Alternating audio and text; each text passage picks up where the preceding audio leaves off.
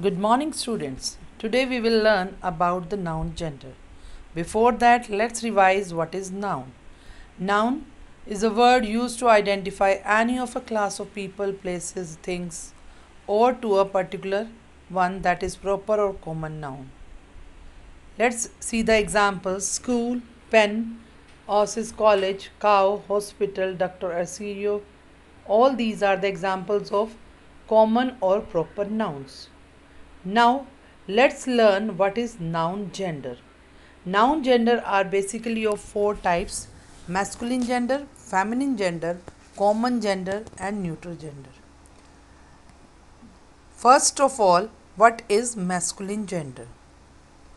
As its name suggests that masculine gender are the nouns that tells about male sex belongs to masculine gender like man, lion, hero, boy, king, etc. All these are representing male sex. So they are masculine gender.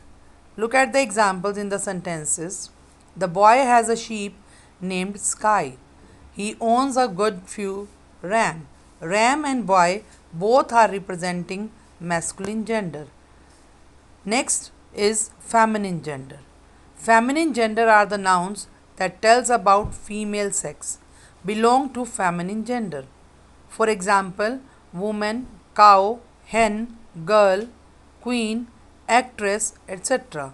All these are representing females. So they are the feminine gender. Look at the sentences in the in this the girl is riding on a horse. The mare runs fast as she can to win. Girl and mare both are the feminine gender. Now the third category that is the common gender. Common gender refers to the member of species that can be male or female.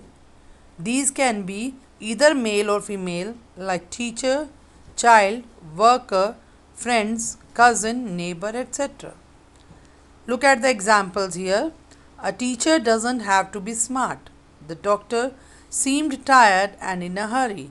Here in these sentences, teacher or doctor doesn't mean any male teacher or female. So they are the common gender. The last category is neuter gender. On neuter gender, maleness and femaleness doesn't apply. These are neither male nor female like book, table, pen, gold, school, rock. All these are the non-living things. For example, the scissors are not sharp. This glue doesn't adhere to plastic. So scissors and glue both are the non-living things. So they will come under the neuter gender.